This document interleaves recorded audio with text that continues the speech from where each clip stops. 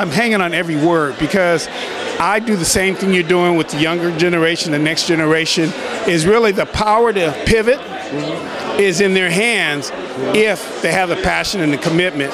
Because you got the history now. Yeah. There's no way. I mean, if we if we can go back to Oscar Micheaux, to uh, to a Spike Lee, to all these uh, pioneers, even John Singleton, that laid out a 30 year period almost mm-hmm. to see that things can happen. Yeah. We've got to pivot and pull from there and move forward with the industry. And then uh, legends like yourself still in the game? Yeah, listen, I'm writing a book right now called Process, Pivot, and Proceed.